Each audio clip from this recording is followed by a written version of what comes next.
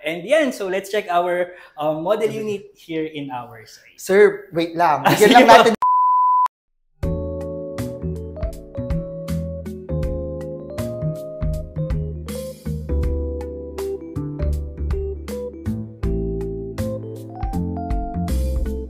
Hi future homeowners! Welcome back again to our YouTube channel here at Virtual House Tour. For today's vlog, we will feature another condominium project here in Pampanga located uh, sa Calulut, San Fernando. And the project name is none other than Astera Pampanga. And uh, together with me, si Sir Hi everyone, so I am Ines Relia, your marketing officer from the Rising Star in the Christmas capital of the Philippines, Astera San Fernando. And yan, so let's check our um, model unit here in our site. Sir, wait lang. Bigyan lang natin ng suspense. Kasi, uh, what's the meaning of Astera? I believe, uh, ano, saan ba galing yung, ano niya, sir? Ayan po. So just a quick background since we are here in the Christmas capital of the Philippines. Astera in Latin means stars. Ah, Ayan, so I see. since maraming stars dito sa Pampanga every Christmas, so we have a project named after that. After, oh, Astera. And uh, we would love to show you around sa model unit namin ngayon. So, tara, let's go. Ayan. So, so welcome to our model unit. So as of now, we are here in a 23.76 studio type unit Oh, of Astera San Fernando.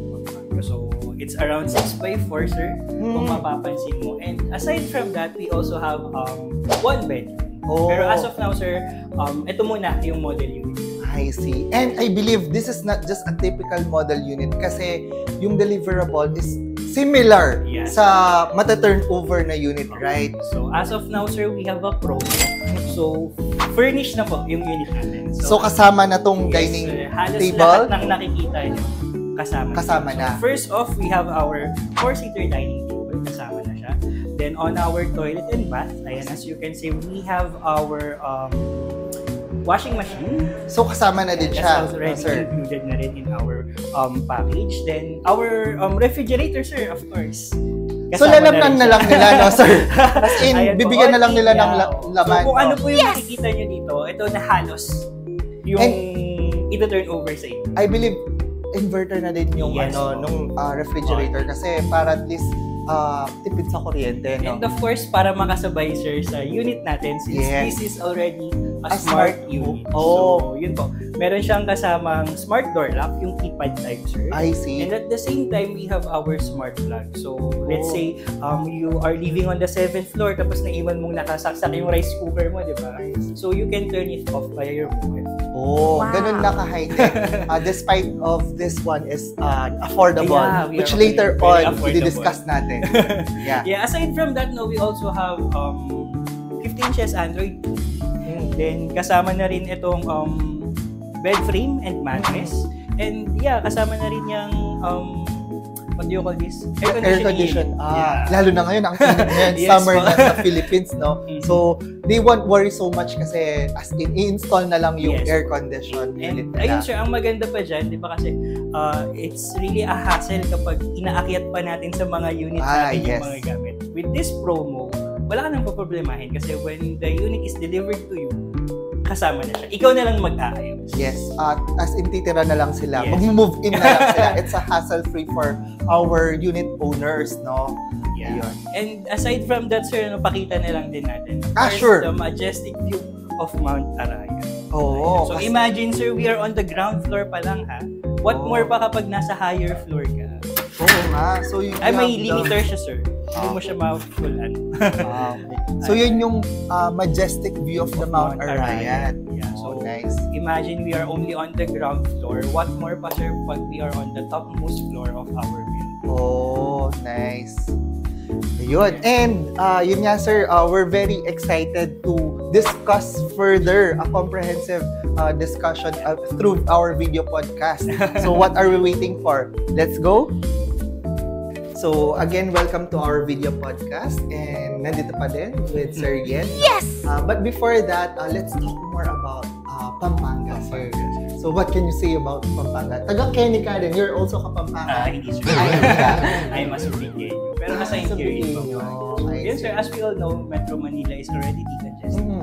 That's why people and even businesses are already transferring to its neighboring balconies, Oh. one of which is Pampanga. So, that's why we call Pampanga as our strongest counterpart Mm. So as of now, sir, we have the so-called Pampanga's Megalopolis plan which divides Pampanga into four major clusters. So una dyan, sir, si Apuapolis. So ito yung swampy area ng Pampanga. Center of waterfront development.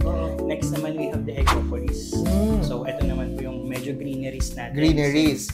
Nandito naman po most of our environmental tourism. Okay. And of course, when people talk about Pampanga, most of us think of Bukid, Oh, Palayan. yes. That's why we also have the Agropolis, I see. which is the center of food production. Mm. And last but definitely not the least, ayan, syempre kasama dyan si Mabalacat, Angeles, Mexico, and of course, the city of San Fernando, Pampanga. We have the Agropolis, Oh. which is the center of logistics, technology, innovation, and education. Oh, yun pala yun, no, sir? At ang maganda pa dyan, sir, at the same time, we have the so-called Pampanga's Golden Triangle. Oh. So this Golden Triangle is not uh, only uh, solely in Pampanga, but this is believed to have the highest potential sa buong Oh. Central Luzon. Wow. And luckily, our project is inside this Golden Triangle. In the city of San So yun yung triangle. May pa-triangle Yes. pala talagang nalalaman, no, sir? And Pampanga is no closer than you think, sir. So why do we say so? That is because of our existing road network. So coming from Manila, sir, of course, you have the Metro Manila Skyway na rin. So connected na siya sa NLEX. And dito sa Pampanga, napakaraming exits. One Yes! of Which is Mexico and of course, San Fernando. Tapos, sir, idagdag pa natin dyan, no? Uh, connected na rin tayo sa Esitec, Mm. Stipilex, so going to Baguio, going to Subic. Napakabilis na rin. Pampanga is really the gateway, Yeah. uh, the passageway ka if you want to go to the north and if you want to, to go to the south, dadan, dadan ka sa Pampanga. And speaking of location, sir, kasi uh, kanina eh, pumunta kami dito sa mismong site. Uh, ang lapit na lang from Yes! uh, SM Pampanga Okay. going to here. So, uh, nag-exit lang kami dito sa Mexico, Mexico exit. And malapit lang siya. So, very accessible siya when it comes sa location. And actually, sir, we are only 7 minutes away from the Mexico exit. Oh. Wow. Mm, ganun siya kalapit, no? I see. So, technically, yung uh, location niya is in Calulut. Yes po. Are San Fernando, Calulut, San Pampanga. Fernando, Pampanga. Parang nasa boundary na tayo, sir, ng Angeles, Mexico, and San Fernando. I see. See, sir. And how about uh, when we talk sa Pampanga, ma- malawak siya. Yes, right? sir, si Pampanga. It has more than 6,000 hectares of 974 hectare land, no?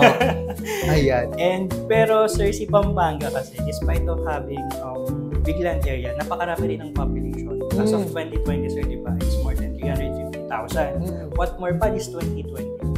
Oh, Pero kahit ganun, sir, we have 86.9% employment. Oh. Isang proof lang, sir, na napakaraming opportunities ang naghihintay sa San Fernando alone. Mm. What more kung isasama pa natin si Mabalacat and si um, Angeles. Angeles where we can find car. Oh, that's Yes. nice. And so, without further ado, uh, let's talk more about Astera, Astera. itself, sir.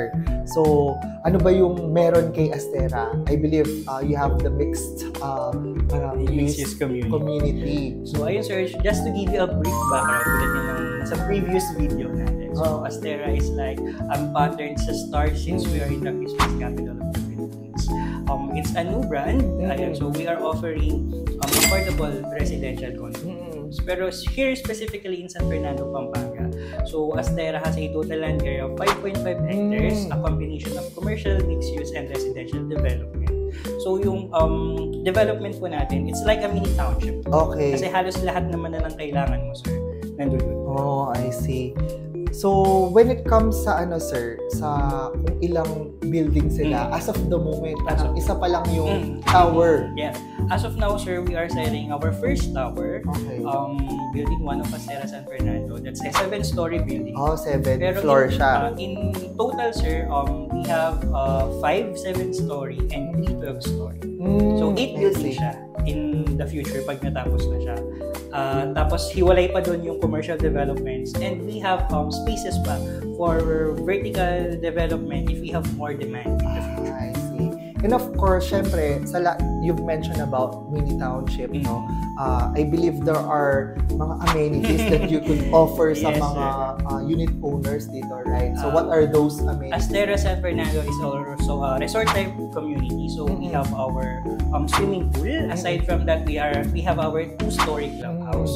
So yung first floor nun, sir, it's a function hall that can cater from 70 to 100 person. Then yung um, seven, second uh, story naman po, it's um, a gym with Oh. glass window. At, uh, imagine sir, nasa tabi siya ng pool. So while you are working out, you have the relaxing view of the pool. di ba? And aside from that, since we want to provide the rural charm while enjoying the city life, we have many greeneries around the area. So we have pocket gardens, I jogging paths for recreation of our future investors. Oh, that's nice. And I believe, uh, uh, generally speaking, when we talk uh, of about real estate investment, it appreciate in value over time, no? Yes, so, likewise dito sa condo project natin, which is very affordable, no? Uh, mga magkano kaya yung mga units natin dito, sir? Uh, as of now, sir, um, for our studio type, price starts at 3,893,000 up to 4,038,000 pesos. And for our one bedroom naman, sir, which is 30.36 to 30.77 square meters, price starts at 5.5 million pesos. Above. Above. And I believe, uh, as we've discussed a while ago, uh, naka, uh, kumbaga wala siya palang VAT, non-VAT pa din siya. Ba, sir? So naka ano lang sa miscellaneous Yes. fee na wherein wala na silang babayaran na Yes. any move-in fees Mhm. no, or other hidden charges. All in. na. Wow. And when it comes to the payment terms, I believe very ano lang, straight lang yung Yes po. payment terms Opo. natin. Ah, paano ba yung payment Very terms? we simple lang siya, sir. For our down payment, um, it's uh, we have two options. So the first one, pwede siyang straight, um, equally divided into 39 months. 39 months. Then another one, we have our step-up term. So we have three tranches dito. Every Okay. 13 months nagbabago siya. oh. So on the first 13 months, magaan pa lang siya. Then, then pa, pabigat lang siya. Okay. I mean, pataas. Pataas. Uh, Ayan. So, para ma-yield pa rin natin yung certain percentage for our payment. So for us, typical studio natin, let's say uh, the client opt to choose yung sa, uh, let's say, 39 months. Mhm. So for as low as 16,000, you have already a condominium, no? Wow. Na, uh, as in stretch pa yung payment terms, Yes. no? Kasi, uh, yun nga, ano ba yung available financing option nyo pala dito? Um, as of now, sir, we have bank financing. okay. Um, we also have in-house, then deferred kung si client ay medyo allergic sa interest. Okay. Then for foreigners, of course, we have retention finance. Okay. So, uh, what are the available banks uh, na Um, pwede? Some, uh, to mention, we have um, Union Bank, Union Bank. BDO, China Bank, and the First Call Bank. Oh, I see. So, from the 15% down payment, imagine kung yung estimated loanable, loanable amount mo is nasa 85%, no? Na nasa 3.8 lang yung ano yung uh, ma- malaloan mo. So, kung let's say stretch niya din up to 20 years, parang nasa 23,000 lang Yes. yung monthly amortization niya, no? Yes. So, kasi uh, for this condominium project, uh, syempre, uh, yung ibang client natin gusto nilang ipa-Airbnb. So, allowed ba yung Airbnb? Yes, sir. No, Actually, for we rental. also have our um, third party. Oh, merong We third party. Spaces Leasing. Oh, So, pwede niyo po silang i-enroll Enroll. kung gusto niyo. For a hassle-free property Mm. management. Oh, that's nice. And then, yun nga, uh, since na-mention na natin yung sa price, no, uh, when we launch uh, the project way back 2022, no, sir, during the pandemic, Yes, sir. uh, magkano lang siya before, no? we started selling our project for just 3.2 million pesos. Oh, I see. And on 2023, sir, we had a quarterly of increase with an average of 150,000 Oo. To 200,000 pesos. So Mm. by 2023, our price is already 3.9. Okay. And right now, on the first to second quarter of 2024, we are on the 4.1 to 4.3 bracket. Ah, so, but uh, still, sa mga clients natin, very affordable pa siya. Kasi sooner or later, uh, as time goes by, comes uh, 2025, 2026, 2027, tataas pa yan. So, we will going to flush the um, projected value appreciation, no? Uh, para at least you could have an idea kung na mag-grow yung money nyo if you will going to invest sa condominium And project. it's never too late, sir, to Oh. invest talaga. Yes. And ayun sir, um, any more to add? Ano pa yung mga other features ba ni Estel? Sir? Ayan po. So, one of our unique selling point is that um, the majestic view of Mount Arayat. Ayan. So, imagine no, sa first video natin, yung model unit natin, we are just on the ground floor. Pero what more pa kapag nasa upper floor?